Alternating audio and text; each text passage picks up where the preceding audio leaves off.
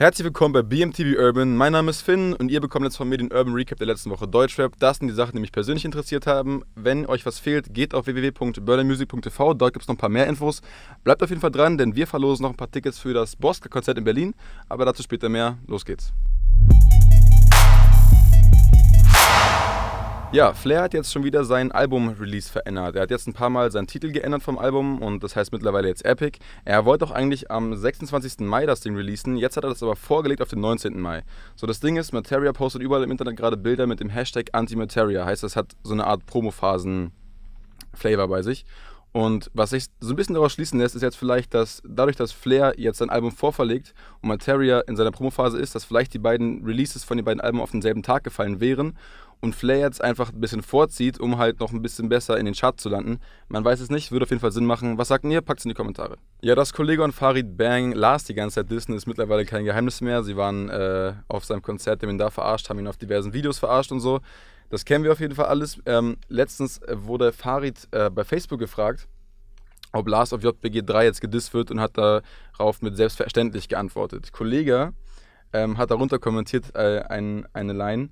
Und zwar JBG befördert Rapper ins Behindertenheim. Ja, das liegt in der Luft wie Lars bei Windstärke 2. So, und daraufhin hat, hat Farid halt so ein äh, Bild gepostet, wo er halt den Daumen hoch macht. So. Und ähm, Farid hat auch äh, Lars auf diesem Track Commons Café gedisst, äh, auf Marjos äh, Album, auf dem letzten. Ähm, und das Ganze ist jetzt alles ein bisschen schwierig geworden, weil Lars jetzt mies supported wird von Bushido und Shindy. Ich meine, äh, Lars hat ja bei Dreams mitgearbeitet und hat er ja Shindy ein bisschen geholfen. Und äh, Bushido hat auch in einem seiner Ansagevideos halt gesagt, dass Lars jetzt halt unter seinen Fittichen steht, sodass halt er jetzt nicht mehr als Punching Bag oder so oder Punching Ball äh, benutzt werden kann. Heißt, die sprechen sich ziemlich für ihn aus. Und ich glaube, das ist auch so ein bisschen der Grund, warum Lars jetzt das erste Mal wirklich was zurückgeschossen hat gegen, äh, gegen Richtung, äh, in Richtung Kollege. Ähm, er hat nämlich ein Bild gepostet, er hat einen Screenshot aus diesem äh, Nero-Video von, von Kollege gepostet. Und äh, da liegt er so mit so drei Frauen auf so einer ja, Römer-Couch und auf jeden Fall hat er geschrieben, Kollega rockt die Toga und Römer-Sandalen, die Pussy bläst Hörner und ich meine keine Königsfanfaren. Bushido und Shindy haben jeweils beide diesen Postern von Lars retweetet, also geshared und äh, sprechen halt auch ihre, ihren Support Lars gegenüber aus. So, das Ding ist, Lars hat sich eigentlich nie wirklich gegen Kollega geäußert oder gegen Farid oder sowas. Ähm, jetzt auf einmal schon. Er wird in den Kommentaren auch gefragt, ob, er, äh, ob jetzt auch noch Farid gedisst wird. Und dann sagt Lars selber, nee, wird er nicht. So, ich weiß nicht, warum er Farid nicht disst. Ich, ich kann es nicht wissen. So, das Ding ist irgendwie, würde schon theoretisch Sinn machen, dass er gedisst wird, weil ich meine, Farid sagt ganz klar, dass er auf jeden Fall äh, Lars dissen wird. Tja, also wir werden sehen, was da noch abgeht. Vielleicht kommt das noch, vielleicht kommt das nicht. Ähm, Flair wurde auch auf Twitter gefragt, was er von diesem ganzen Ding hält. Und da hat Flair gesagt, äh, dass er denkt, dass es eher in so eine Richtung Beef zwischen Kollega und äh, er ist guter Junge geht, also dass Farid da nicht mehr so viel mit integriert ist. Und er hat auch gesagt, äh, ob er, also er wurde gefragt, ob du da mitmischst so. Und dann hat er gesagt, ja, vielleicht mische ich da mit, mal gucken, ich bin ja schon äh, etwas länger dabei. Also wir werden es sehen, ich bin gespannt. Ja, Kollege selber ist momentan ein bisschen in Battle-Laune. Der hat ja sich auch endlich mal äh, gegen SpongeBoss gestellt, beziehungsweise oder mal darauf geantwortet, was SpongeBoss ihm halt dauernd vorwirft. Und äh, hat auf diesem Track Legacy, der relativ lang geht, ich glaube, es sind wieder irgendwie 15 oder 18 Minuten oder sowas, also schon wieder ein bisschen länger, äh, halt San Diego beziehungsweise SpongeBoss halt gedisst so.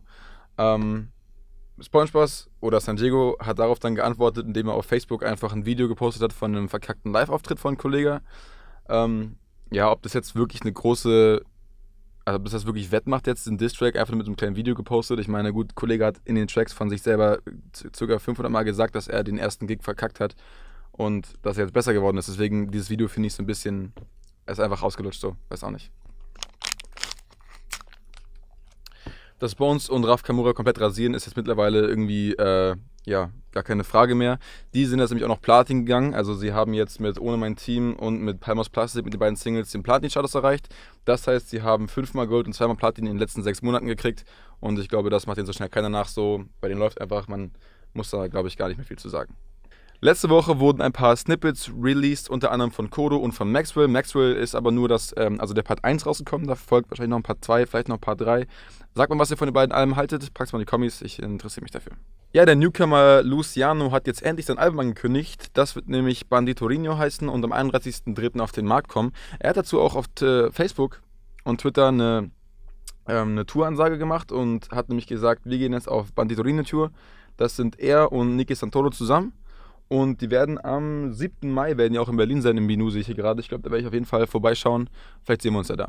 So, bevor wir jetzt zur Verlosung kommen, will ich nochmal ein großes Shoutout an die paar Leute sagen, die mir auf Twitter und auf WhatsApp und auf Facebook und auf YouTube Sachen schreiben, die ich im Recap benutzen kann. Sehr fresh von euch hier. Ich packe das mal hier überall hin. Sehr nice. Äh, Liebe geht raus an euch, ne? Kommen wir jetzt aber zur Verlosung, denn wir verlosen dreimal zwei Karten für das Konzert von Boska in Berlin. Der spielt auf seiner Coba 3 Tour am 22.04. im Maschinenhaus.